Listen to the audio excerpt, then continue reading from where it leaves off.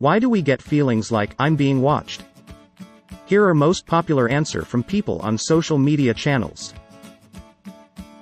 We are descended from scared little monkey-like creatures that used to be hunted and eaten by snakes and cats and eagles and bigger monkeys.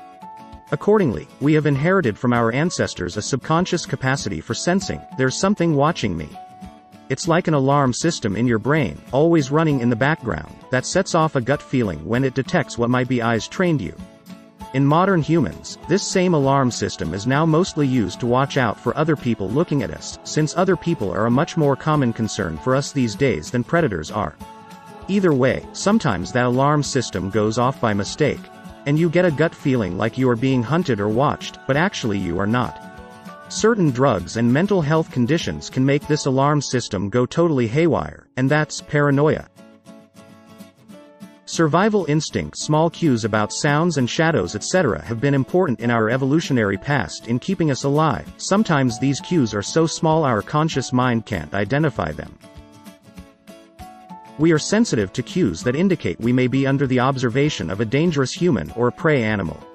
Some of these sensitivities are innate, and some are learned through experience. These cues include changes to the soundscape, air pressure, the behavior of others, situational likelihood, and so on. Sometimes someone is looking at us and following us, but probably not for the egocentric reasons we imagine. When you turn around to look behind you, on a street, for example, or at the movies, people behind you will often reflexively look at the face, yours, that has just appeared in their line of sight, thus maybe giving you the impression that you are being watched. They weren't looking at you before you turned around and they aren't looking at you after you turned away again, but for that second or two they looked at you. And if you look back again and the same people reflexively look at you again, you may really start thinking you're being watched. And if the people glancing at you when you turn around happen to be walking the same way you're walking but some distance behind you? You might get the feeling you're being followed and watched, when they only happen to be headed in the same direction. Supposedly a built-in survival tool from the beginning of time when we weren't at the top of the food chain. When out hunting, humans weren't the only predators out there. Our nervous system is in tune to subtle changes in our surroundings whether we consciously acknowledge these signals or not.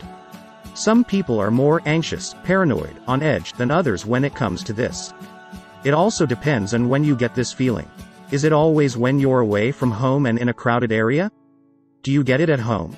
Situational? Often? Rarely? Does it impact your day-to-day life? I must admit the last time I got this feeling, it wasn't wrong.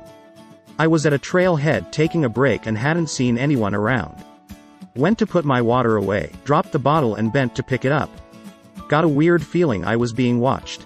Glanced up and a guy had appeared out of nowhere just standing there staring right at me. Gave me the creeps. I rarely get the feeling these days compared to when I was a kid.